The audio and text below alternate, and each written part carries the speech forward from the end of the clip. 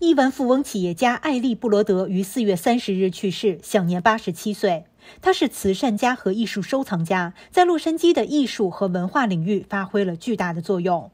艾利·布罗德是一位白手起家的亿万富翁、慈善家和艺术收藏家。他创建了两家财富五百强公司，并用自己的财富塑造了洛杉矶的文化景观。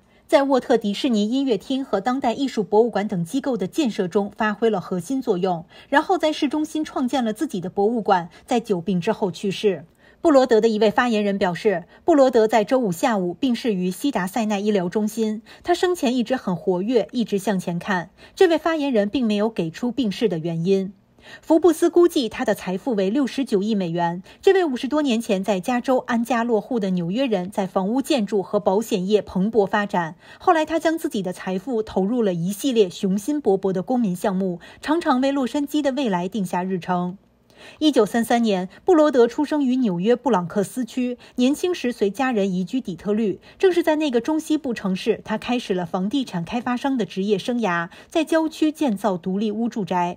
二十世纪七十年代，他投资了一家保险公司，并将其重新命名为太阳美国。他在那里赚了很多钱，然后在二十世纪九十年代中期以一百八十亿美元的价格将该公司出售。一九六三年，他和妻子爱迪丝搬到了洛杉矶。